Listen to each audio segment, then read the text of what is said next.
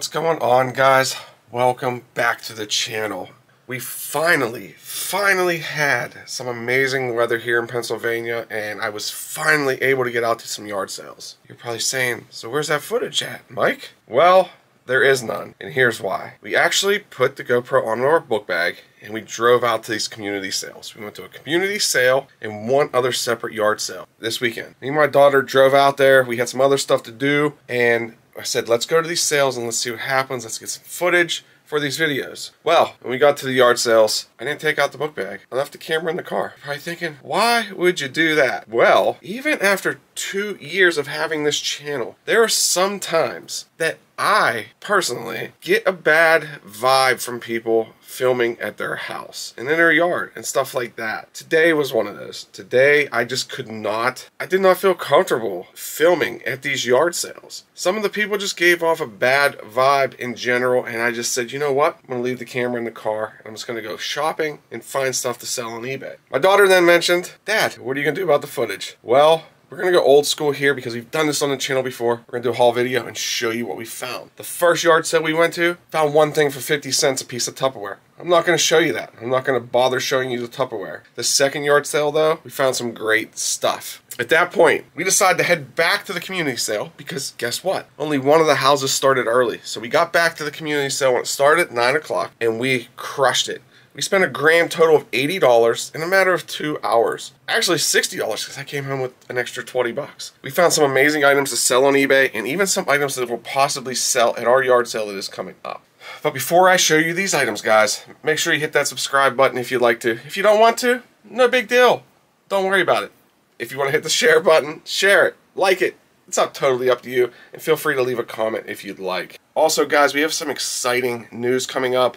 I'm debating how to tell you guys about it. I might let the kids tell you. I'm not 100% sure yet. So just stay tuned for some important and exciting news for the channel and maybe something else. So let's get in these items and show you what we found. So one of the last things we found was some Carhartt work pants and a Carhartt shirt.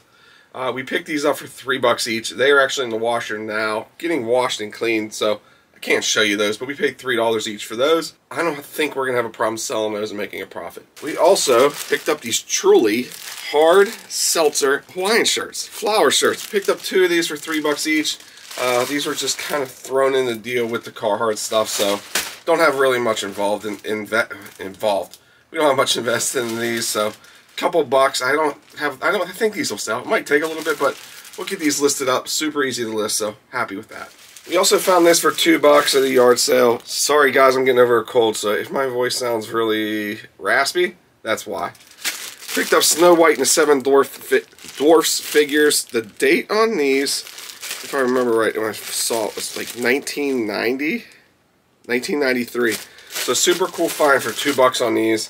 Uh, I'm not sure how much these will go for. We actually didn't even look them up. My daughter also picked up a book at the yard sale for 50 cents, even though it said two bucks, but ah, what are you gonna do? Picked up this nice Dunkin' Donuts cup here for 50 cents, I think it was. So it actually looks pretty brand new. I'm not even sure it was used. Yeah, I'm not 100% sure it was used. So for 50 cents, I wasn't leaving this behind. And honestly, my wife might use this if it doesn't sell. A few things upstairs that I'm to show you in our garage. But one of the better finds of the day was this driver head. You're probably thinking, where's the shaft? Well, driver heads sell. And this one actually does really well. I didn't price it while I was there, but they actually had $15 on it. I think, yep, 15 bucks on this thing. Uh, it's a Nike VRS Covert Tour driver head. Very clean. It doesn't even look like it's been hit that much. Maybe a few times. I made an offer of 10 bucks. I didn't look it up, so I had no idea what the comps were. One just recently sold for $124.99. If I remember, I'll pop one up here.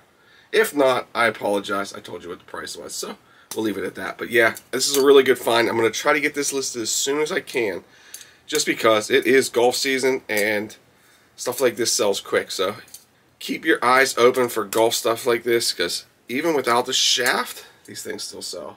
Okay, so the next thing we got, we ended up picking up this dog bone toy box. It is for this one right here. I'm gonna say hi, Anna. Say hi. Say hi. You won't be shy hopefully people will see more of you soon. But yeah, we picked this up, I think, for three bucks. That was really cool. We can actually put all of our toys in there. and it'll keep everything organized. Then we picked up these two things right here. This Harry Potter book set. This is from Target. It has the one, year one, year two, year three in it.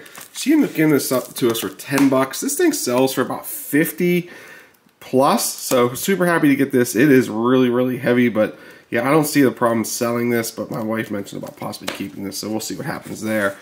But then we also picked up this Instamax or Instax Mini 20 Fujifilm little uh, pictures.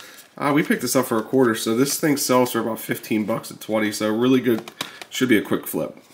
And then last but not least, yep, there's the book bag I was using. The camera, I think, is actually still on it, but I didn't film right there. Yep, I didn't film, so like I mentioned earlier.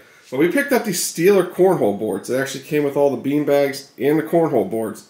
Basically brand new. I bet they were only used one time. We paid $15 for it. Now I'm still not 100% sure if I'm going to keep it or sell it. We were having a yard sale like I mentioned, so this might get sold on Facebook Marketplace. You're probably like, is that a bread machine? This is a bread machine. This is the Bread Man Ultimate. Says seven bucks. They gave it to us for five. Here's why I bought it. The bread pan with the paddle. This bread pan sells alone for 40 bucks. 35, 40 bucks alone. I could probably get about 75 to 80 for the whole machine itself. It is in really, really good shape, but I may part it out just for that. So we will see what happens and I'll keep you guys posted. So that was everything we found at these yard sales, a community sale and another separate sale. Uh, I think we did really well. I think we spent, I think I mentioned 60 bucks. So really, really good. Uh, I think we're gonna have a really good profit on this stuff that we sold, bought. I did leave behind a ton of stuff, and that is because I am personally just tired of picking up stuff that's to sit here forever. If it's something I can flip easier, if I know I can make a good profit on it and I might sit on it for a little bit, I'll pick it up. But I'm not to pick up these items that are to sell for three bucks four months down the road. I'm just not going to. I'm tired of storing stuff, and I just want to buy stuff and move it just quickly to make the profit. I don't have money just tied up in stuff. So, that being said, hit that subscribe button, like, and share it. And guys, we'll see you next time. Bye.